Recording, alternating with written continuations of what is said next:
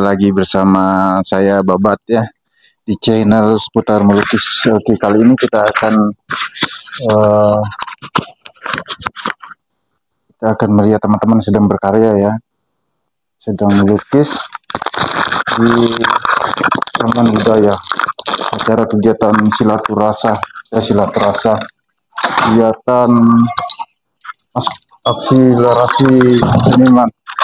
Oke langsung saja kita pergi oke? Nonton terus. Jangan lupa like comment dan subscribe.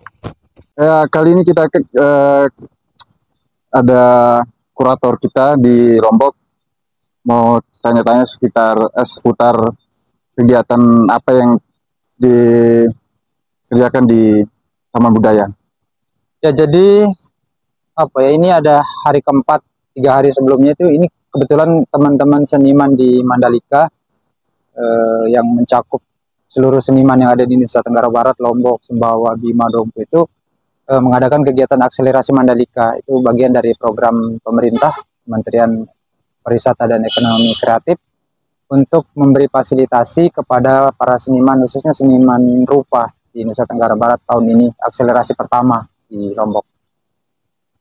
Oke. Terus rencananya pamerannya bulan apa?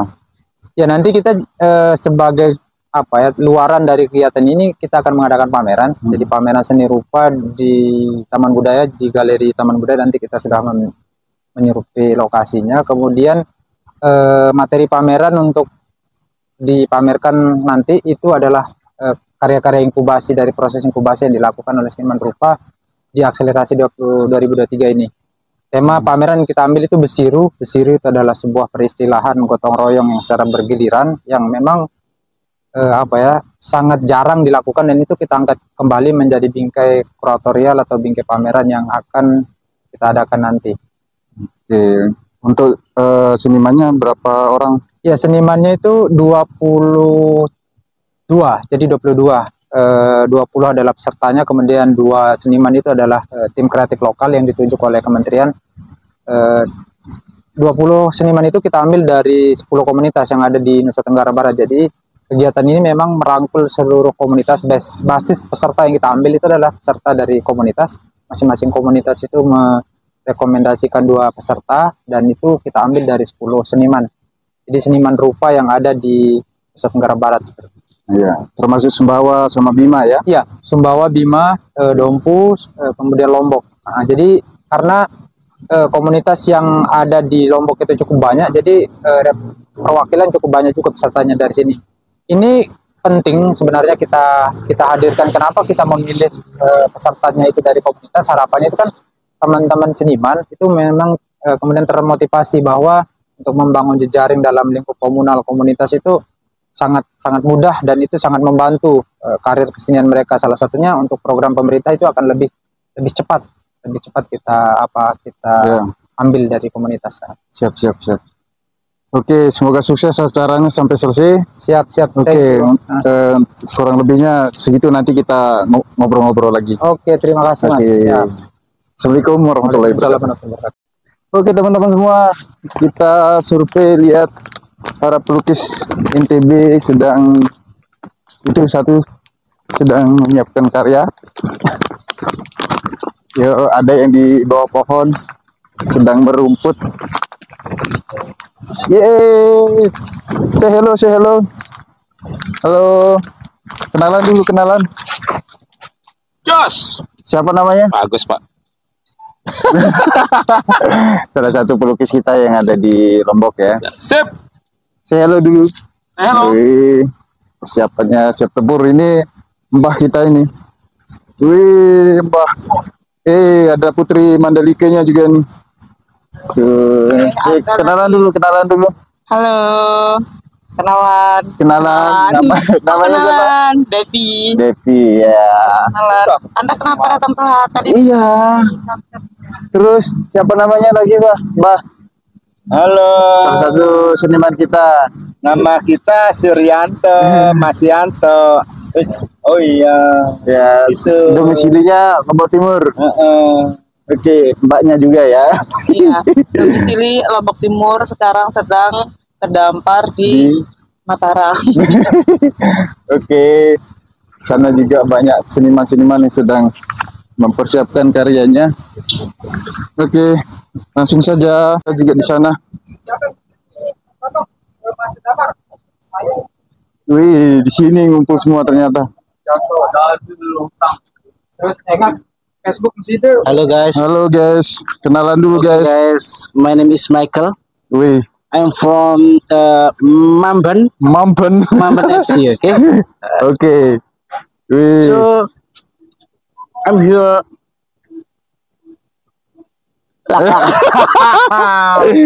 eh, lagi ngelukis apa Pak? Ini Kita persiapan lukis, uh, untuk acara apa? uh, apa judulnya? Besiru ya. Disiram. Akselerasi Mandalika 2023 yang bertemakan Besiru.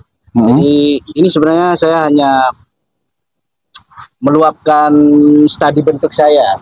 Jadi Oke. untuk ke depannya uh, mungkin karya-karya saya itu akan seperti ini. Hmm. yang jelek tidak bagus kan Oke. mahal Mahal ini mahal. Oke. Langsung.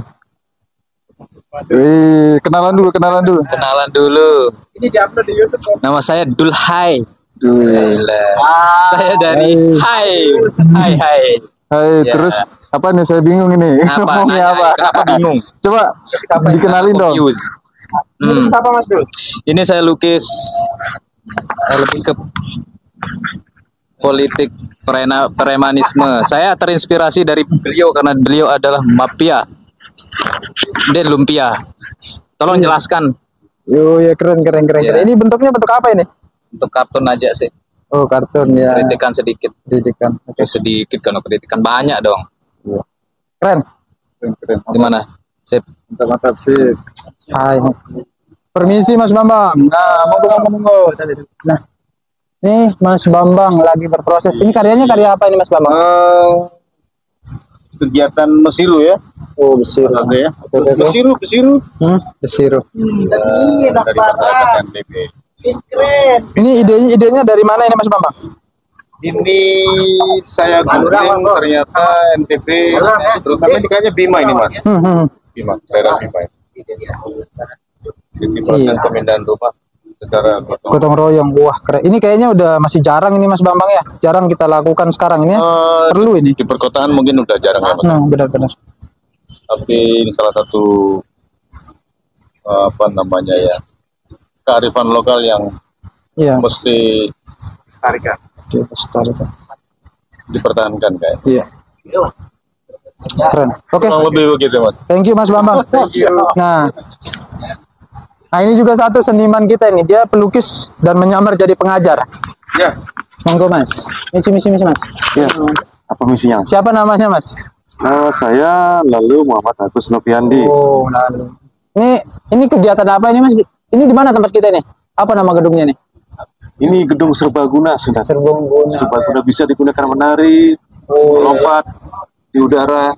Ini teman-teman perupa banyak sekali ini acara apa nih Mas? Ini akselerasi Mandalika. Oh, yang dari kementerian ya? Ya, dari Subsektor seni Kemenparekraf. rupa. Keren keren.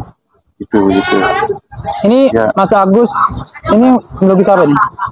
Saya sedang melukis ya sesuatu yang bertemakan kerja bersama. Oh, oh iya konteksnya ini ya pameran dengan besiru itu. Oke, oke. Betul, Oke. bersiru, kerja bersama. Jadi di sini saya sedang eh, membuat karakter gitu yang dengan distorsi yang tinggi lah gitu.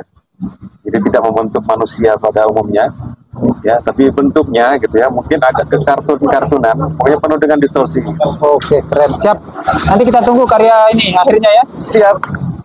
Mari, mari, Mas. Nah, ini kita pindah ke seniman berikutnya. Ini dia, Mas. Mas Iya. Fauzi, izin Pak Mas Fauzi eh, ngobrol sedikit terkait karyanya. oke Ini karyanya tentang apa ini Mas Fauzi? yang gimana Yang ini, yang yang dikerjakan sekarang. oh ini tentang ya seperti biasa judulnya beseru besi beseru kan Ah, besiru, oke. Hmm. ini saya bawa alirannya ini surrealisme Hmm.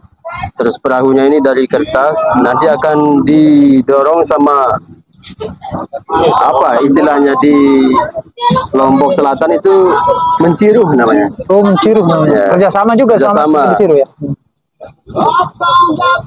Oke, keren karyanya Mas Oke. Fauzi kita tunggu ya. Terima kasih. Oke, permisi Mi Saukani. Ini kita ngobrol sedikit terkait karyanya ini. Mas. Ya, Oke. Ini karyanya tentang apa? eh, saya mencoba menggambarkan sebuah situasi eh, kondisi perkampungan di Lombok ya landscape ya Iya. temanya tema besarnya ada landscape cuman saya lebih fokus kepada sebuah perkampungan kecil yang ada di perbukitan di daerah Lombok ini banyak kita dapat lihat di daerah Lombok Selatan biasanya Oh ya, ini ini ini landscape sepertinya udah jarang. Ya, nah kebetulan begini. Kenapa saya coba uh, mengangkat tema landscape ini yang kemudian landscape ini kan sudah kita jarang lihat ini Pak Iya, Kase ya. iya, iya. Ini adalah merupakan kerinduan saya pribadi terhadap kondisi Lombok tempo dulu ya. Di mana di situ uh, apa namanya? kultur, budaya, sosial masyarakatnya masih kental pada saat itu dan kita tahu sekarang kan ini sudah tergerus ya dengan era globalisasi, modernisasi. Saya mencoba mengabadikan eh, eh, Lombok Age, istilahnya Lombok asli ya, Lombok jadul ya, Lombok zaman dulu itu ke dalam sebuah media kanvas ini sebagai sebuah perenungan kita. Ya, mungkin itu aja yang saya bisa Oke, sampaikan. keren sekali. Siap. Ditunggu karya akhirnya. Terima kasih Pak Sase. Siap. Oh, ini satu, ini satu, Mas. Mas Fian. Oh, lagi dia lagi ngerokok tapi. Oh, dulu, anu, dulu. Nanti ngerokok. Yang rokok dulu. Oke, terima kasih. Apa ya? ya pokoknya itulah. Saksikan terus, lagi. tonton terus. Eh, jangan lupa like, komen, dan subscribe. Dadah podcast. Oh, dia buat podcast.